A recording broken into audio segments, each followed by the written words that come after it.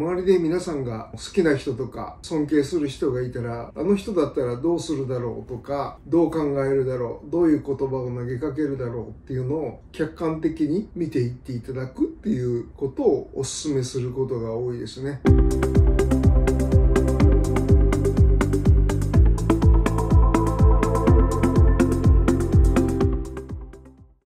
皆さんこんにちは。ミラクリニック院長のミールです。今日も診察が終わりましてね、今 YouTube の撮影をしておりますが、今日の診察でね、何人かの方から聞かれたのは、潜在意識のコントロールとか、無意識のコントロールってどうしたらいいんですか？っていう話を聞かれたんですけど、潜在意識っていうのはなかなか定義が難しいんですけどね、僕らが生まれてきた魂の目的っていうのもあるので、思考は安定を求めるんだけど、魂は成長を求めるから、いろんな出来事が起こってきて、それに対してして自分の魂の反応っていうのも起こってきますし、あとはですね、小さい時の教育ですね。だいたい3歳ぐらいまでに両親の言葉とか、周りの大人からの言葉とか、もうちょっと大きくなったら学校の先生からの言葉で、ああするべき、こうするべき、こうやって生きるべき、みたいな言葉をね、たくさん投げかけられて、それをこう頭の中でリフレインしちゃうんで、そこから外れると自分ってダメな人間なんじゃないかなって大人になってもね、思っちゃうんですよね。よく言う三つ子の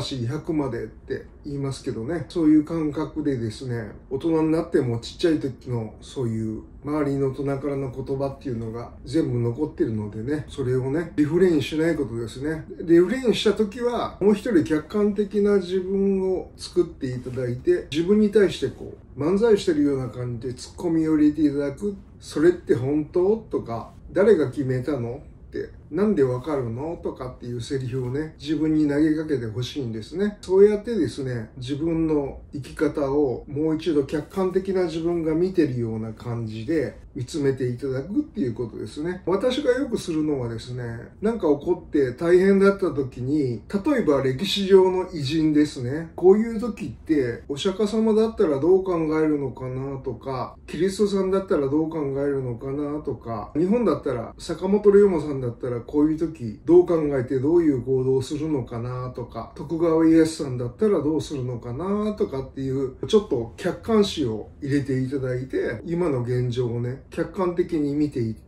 自分一人でこう、一人称で悩んでしまうと結構大変なので、なんで自分はこうなんだろうとか、ああなんだろうって考えると大変なんで、こういう時、あの人たちだったらまあ、歴史上の偉人じゃなくてもいいんですけど、周りで皆さんが好きな人とか尊敬する人がいたら、あの人だったらどうするだろうとか、どう考えるだろう、どういう言葉を投げかけるだろうっていうのを客観的に見ていっていただくっていうことをお勧めすることが多いですね。さっきも言いましたけど、思考は安定を求めるんだけど、魂は成長を求めるので、その時その時にいろんな出来事が起こってきます。これはね、スピリチュアルなお話で言うと、生まれる前から、あの世にいる時から、この年代で、この年にこういう出来事が起こって、それに対して自分が取り組んでいくっていうプログラムを自分で組んでるっていう説もあります。私は結構それは信じてるんですけど、ですので、起こってくる出来事っていうのは、